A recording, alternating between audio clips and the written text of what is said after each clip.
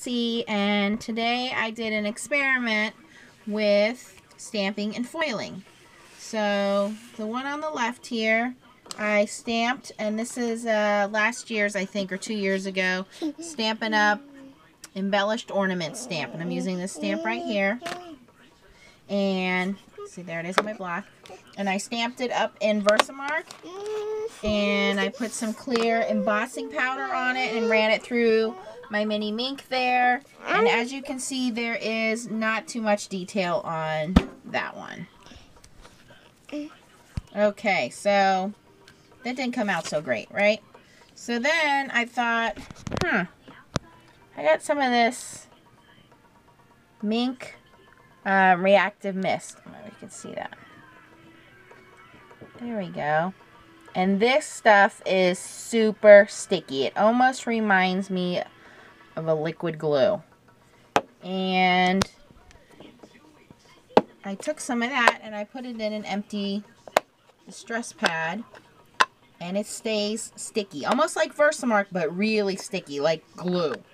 And the first time I stamped it, you know, I usually leave my stamps on for a second so it soaks in. Well, you can see here, it ripped the paper up. So that didn't work. So then I stamped it and ran it through the machine.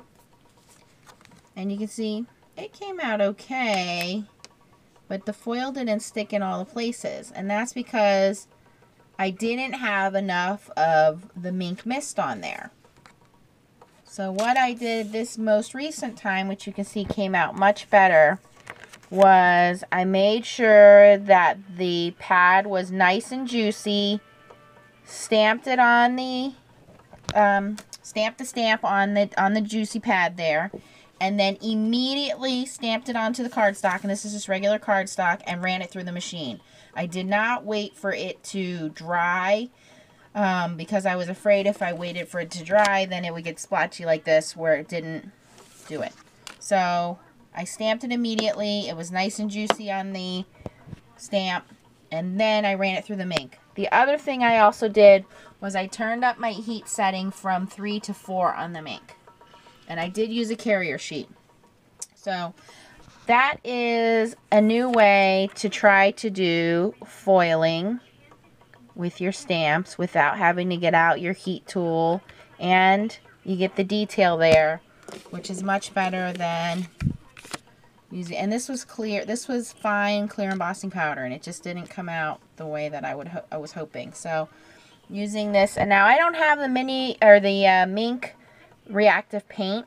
I'm wondering if that would work better um, than the mist. I'll have to get some and try it out. But yeah Minc reactive mist. And this has been in this distress pad for over 24 hours because I wanted to see if it would dry, but it has remained tacky. And it, like I said, it's super, super sticky, almost like a, like a glue pad. I wonder if a glue pad would work. I'll try that too. But there it is, guys. You can do foiling with your stamps with your Minc machine. Try it out. Let me know what happens. Keep on stamping.